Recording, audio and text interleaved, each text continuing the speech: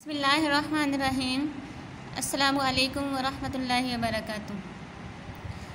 How are you second year students? I hope you all are fine.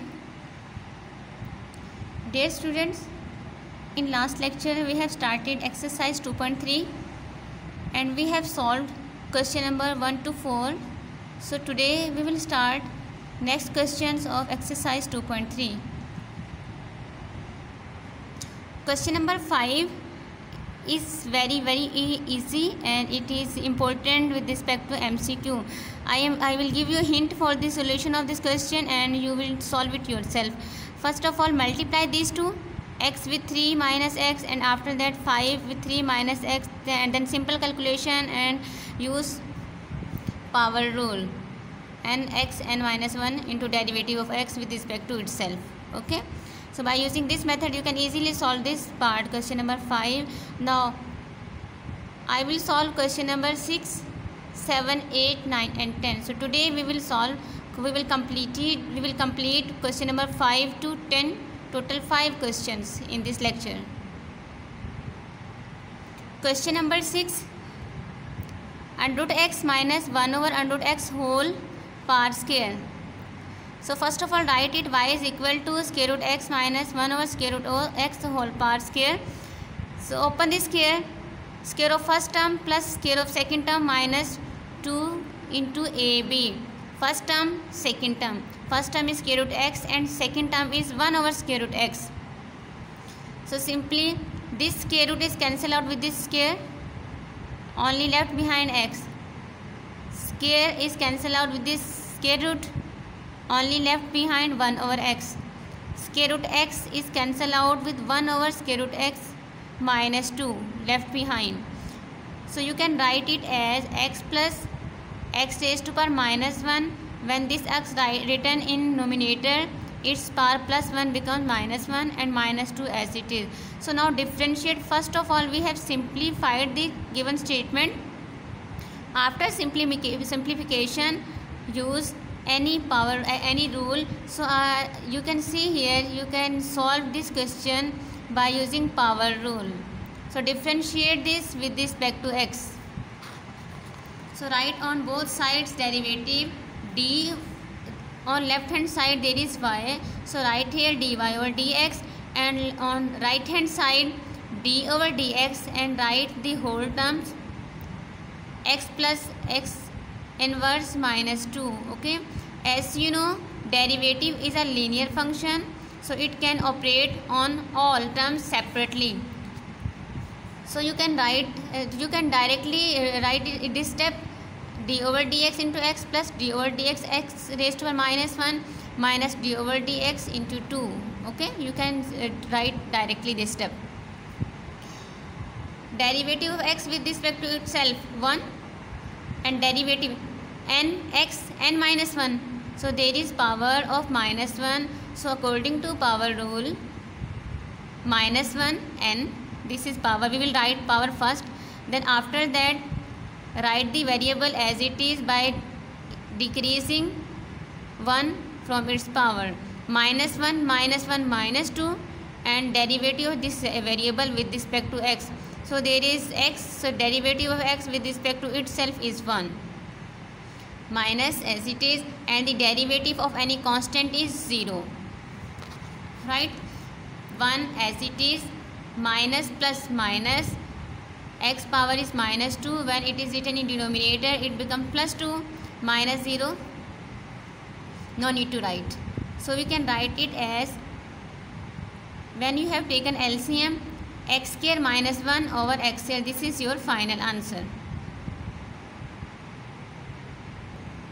question number seven, one plus K root X into multiplied X minus X raise two bar three by two and in whole denominator there is K root X so first of all diet it with is equal to Y Y is equal to one plus K root X into X minus X raise two bar three by two and in whole denominator K root X so first of all try to simplify the given function given terms okay okay? First term we have written as it is 1 plus k root x while from second term we have taken x common. As you know second term is x minus x raised to 3 by 2 so we when we have taken x common there is x so it uh, here left behind 1 minus x raised to 3 by 2 when you have taken x common from 3 by 2 so left behind is 1 by 2 uh, and in denominator there is square root x okay? X into 1 plus k root x and 1 minus k root x. So you can write it as a plus b into a minus b. So you can write it a square minus b square. A square minus b square is written as 1 time plus and 1 time minus. So that's why you can write this x square root x whole square it doesn't change. There is no change because this square is cancelled out with this square root and left behind x. So it means when you have written this x in square root form with square so there you have no change. Okay? There is no change. But in this form you can solve we can solve easily the question. So that's why we have written x into this its other form. Okay? And second one is 1 plus square root x and 1 minus square root x. There is plus between two terms and same term with minus sign. You can write it as 1 minus a square minus b square in the form of a square minus b square. So first term is a1 square of 1 you can write is only 1 minus square of second term square root x. And in denominator square root x.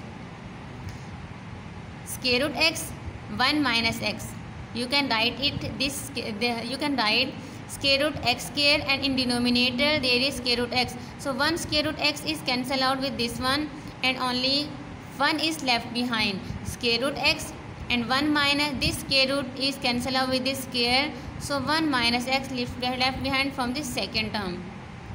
And while from first term 1 square root x is cancelled out with this denominator square root x. So you can write it as x raised to power 1 by 2 into 1 minus x. And we can multiply this x raised to power 1 by 2 with this with this bracket term. x raised to power 1 by 2 multiplied by 1 x raised to power 1 by 2 and x raised to power 1 by 2 multiply by this x 1 by parts will be if base is same then parts will be added. Minus plus minus 1 by 2 plus 1 3 by 2 now we can easily solve it. We can take its derivative by using power rule as there are power present on both terms. So now we are going to take derivative by using the help of power rule.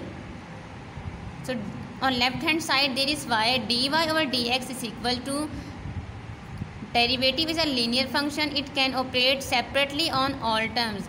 d over dx x raised to power 1 by 2 minus d over dx x raised to power 3 by 2 power rule is n x n minus 1 into derivative of variable with respect to itself so 1 by 2 power is written start and then there is in there is decrease by 1 from the power x raised to power 1 by 2 minus 1 and the derivative variable with respect to x. So there is x and its derivative with respect to itself is 1 minus as it is derivative of x raised to 3 by 2 first of all we will write power 3 by 2 then x raised to 3 by 2 minus 1 and the derivative of the variable.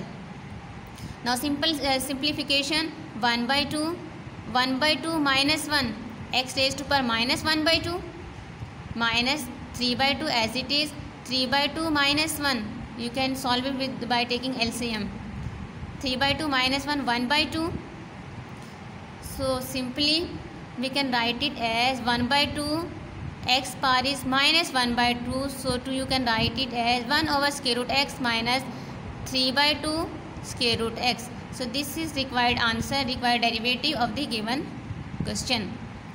Now you can solve question number 8 yourself. It's your homework. Question number 5 and question number 8. And now we will move towards question number 9.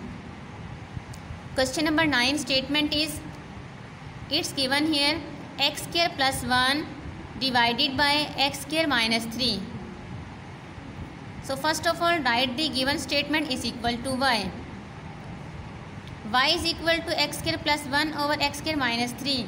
So now carefully observe the given statement and think about it which rule is suitable to take derivative of it there are two terms written one is in numerator second one is in denominator yes very good. We will use we will solve it with the help of quotient rule. So now write take derivative on both sides. dy over dx on left hand side while d over dx of right hand side. So now applying quotient rule what is quotient rule in start in first step first of all write denominator term then derivative of numerator minus numerator term as it is and the denominator and the derivative of denominator term and this whole is divided by the square of the denominator term. I am repeating again what is quotient rule. Quotient rule is first of all write denominator term as it is and the derivative of derivative of numerator term minus sign numerator term as it is and the derivative of denominator term. Okay? And whole whole term is divided by denominator square of the denominator term. Square of the denominator term that is x square minus 3 whole square. Now simple calculate now simple uh, solution. x square minus 3 this term is written as it is while the derivative of this one derivative is a linear function so it can operate separately on both. And you know very well one is constant and the derivative of constant is 0 so we have no need to write it okay? While x square by applying power rule it becomes 2x minus sign as it is. X square plus 1 as it is. Now apply derivative. Now take derivative of it. X square becomes 2x while minus as it is and the derivative of any constant is 0 so no need to write 0 okay? So that's why I have taken I have written only 2x while whole term is divided by x square minus 3 whole square simple calculation now multiply you can take 2x 2x you can take 2x common from both. We have taken 2x common left behind is x square minus 3 minus as it is x square. When you have opened this bracket this plus becomes minus minus 1 plus x square minus x square cancel out. And left behind minus 3 minus 4 minus 3 minus 1 minus 4 2x as it is minus 3 and minus 1 minus 4 and denominator term is as it is. So minus 4 into 2 minus 8x minus 8x divided by x square minus 3 whole square. This is final derivative we have calculated of the given statement okay now our first 10 questions completed. So do practice of first 10 questions of exercise 2.3 so that you can easily solve next questions. Fi amanillah assalamu alaikum wa rahmatullahi wa barakatuh